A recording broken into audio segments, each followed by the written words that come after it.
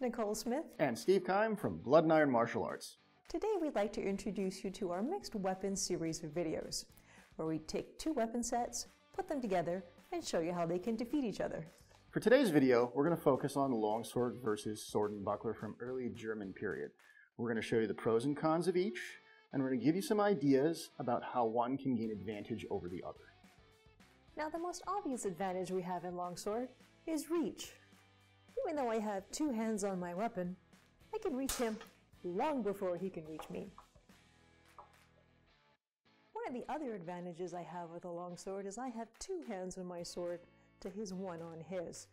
This allows me to generate more power and blow through his defense. And now the cons. First and foremost, the longsword is only one weapon versus the sword and buckler's two weapons, which means that my longsword has to do two jobs at once, attacking and defending. That's why the manuscripts heavily referenced master cuts, which allow just that, attack and defense simultaneously. Another con to discuss is in close fighting.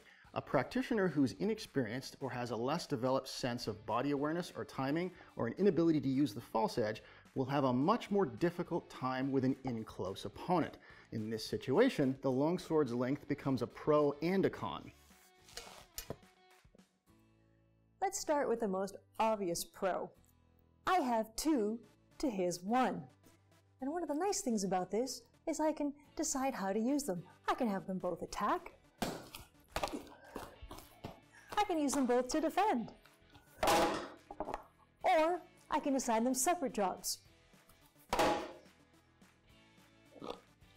There's really no end to the combinations you can use these with. From an instructional standpoint, it is much easier to teach someone to defend with a buckler than with a longsword.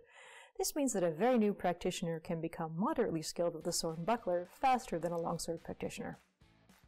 As previously mentioned, the longsword has the reach advantage, meaning my arming sword being shorter will be at a disadvantage. So my first priority is to get past the tip of my opponent's sword. If I don't, I'm in for a very bad day.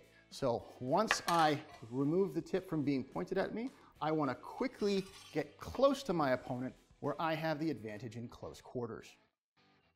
The next con we're going to address is defending against longsword attacks. Under ideal circumstances, I'm going to want to use both my sword and buckler at the same time to defend incoming strikes from the longsword.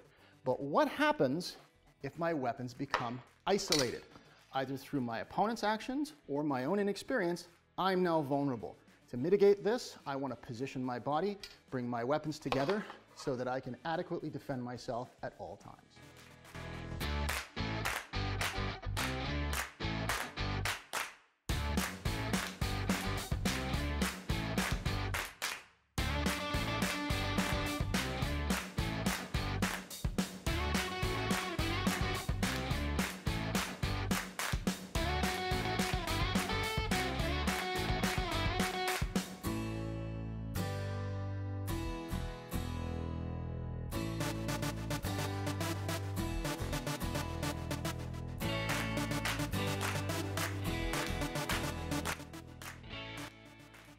Practicing with mixed weapons is a great fun way to challenge yourself and also learn to employ techniques in a different environment.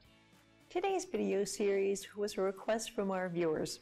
Thank you for the inspiration and keep those suggestions coming.